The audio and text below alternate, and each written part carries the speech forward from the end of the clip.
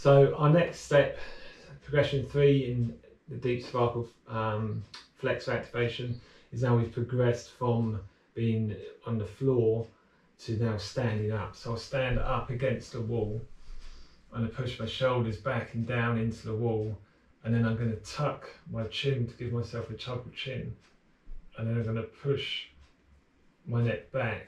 And it's the same as on the as on the floor. So what I'm trying to do is in, like increase the length at the back of my neck and again I'm making sure that I'm not looking slightly left or right I'm picking a point keeping my head nice and square shoulders back and down chin tuck and lightly press into the wall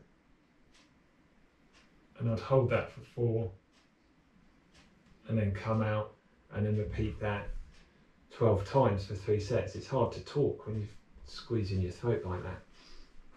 Okay, but let's say we've done, you know, we're doing that one now and we're happy with how it's progressing.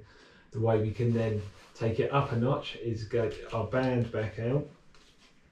Again, in the palms up, thumbs out position, having our elbows slightly forward of um, our rib cage and just lightly hugging in.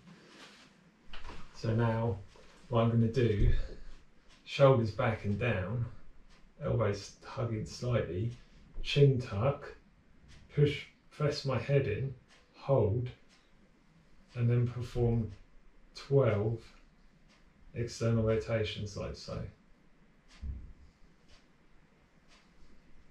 and you'll find this can become very quite demanding on your neck fairly quickly. So you can drop a band down to a yellow, make it easier, or it's too easy, you can increase the strength. There you go.